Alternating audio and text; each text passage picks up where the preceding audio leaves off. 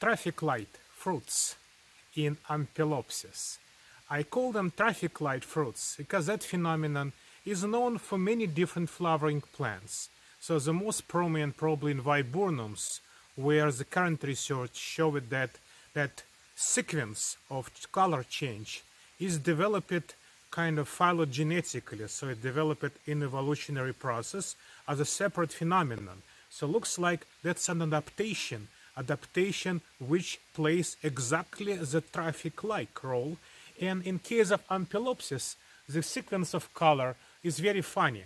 So they start from green, so non-ripe fruits are green. Then go to kind of purplish color. And finally go to some light blue color. Interesting, unusual, more or less unusual for the plants in the fall. That light blue color is probably quite visible in the shade and that will allow plants to be recognizable from a distance for those animal distributors, likely birds, who will like to eat fruits and bring seeds to different places.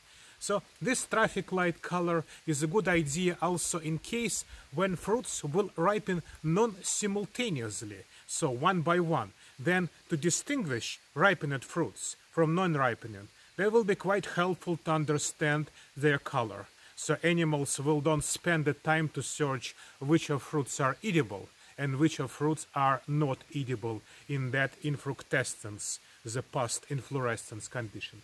So Ampelopsis is a plant which belongs to the grape family. It's a very similar vine-like habit typical for all, almost all grape family. And in Japan, that plant start to change color of fruits to the final ripened good to go stage in the middle of October, exactly like today. Today is October 14, and this is a shrine to the southwest of Kyoto. So for the diversity, I went southwest today, Yoshimine Shrine.